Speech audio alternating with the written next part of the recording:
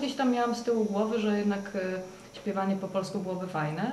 E, I mm, Emilia dała mi tam po, po jakimś czasie do przeczytania taką próbkę, no i to mi się strasznie spodobało. I to po prostu jakby e, mm, wpłynęło na to, że to właśnie Emilia jest autorką wszystkich tekstów. No.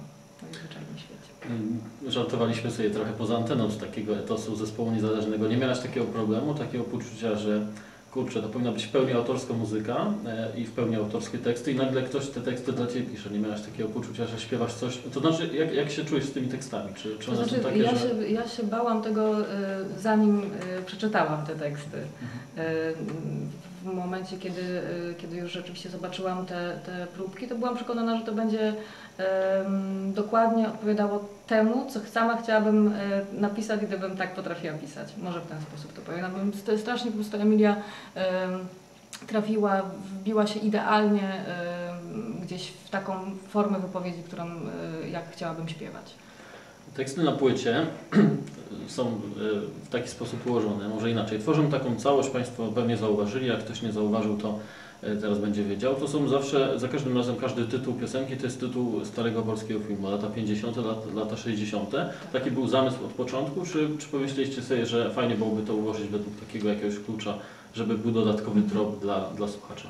Tak jak mówisz, to się, to się właśnie pojawiało później, czyli e, e, właściwie mm, jeden z e, płyta w ogóle na samym początku miała się nazywać e, Ostatni Dzień Lata, ale w końcu e, zrezygnowaliśmy z tego na, na rzecz takiej bardziej e, ot- otwartej formy, dającej mm, większą możliwość interpretacji.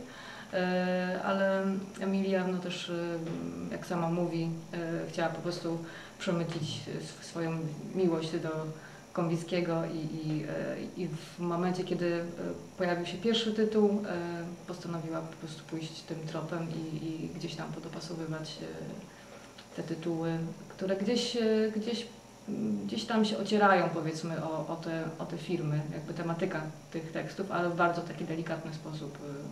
Nie jest to takie dos, dosłowne. Jeszcze jedno pytanie a propos śpiewania.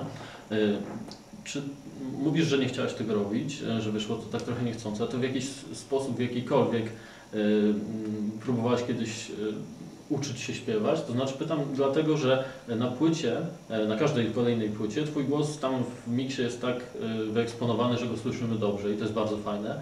Natomiast na ogół jest tak, że na koncertach trochę jesteś schowana za, za, za chłopakami. Teraz na tym koncercie, który był jednym z najlepiej brzmiących koncertów waszych, na, jaki, na jakim byłem, e, siedziałem dosyć daleko i też miałem odczucie, że bardzo słabo Cię słyszę, chociaż wiem że od ludzi z przodu, że były głosy, że było dużo lepiej. Później Radek schodził ze sceny i ktoś go zapytał o to i on powiedział, no ale wiesz, Magda, Magda zawsze jest tak troszkę za, za cicho. Nigdy się śpiewu e, nie uczyłam i myślę, że to takie moje ciche śpiewanie też po prostu wynika z tego, że ja nie umiem śpiewać w takim sensie e, e, tech, technicznym powiedzmy. No, śpiewam tak jak, tak jak to czuję i- być może po prostu nie mam gdzieś tam wyćwiczonej tej emisji głosu na tyle, żeby przebić się przez e, bębny, bas i strasznie głośną radka gitarę. No i teraz, teraz jeszcze moją, także tutaj, tutaj myślę, że to jest kłopot i z, z, jakby z, z mojej strony, ale też kłopot tech, techniczny, no, y, głównie gdzieś tam na koncertach. Powiedziała Magda Powalisz, której głosem wszyscy się zachwycają, tak? A ona twierdzi, że nie potrafi śpiewać. No tak jak mówiłem, będziemy wyciągać brudy, pięć płyt na koncie. Fałszywa skromność.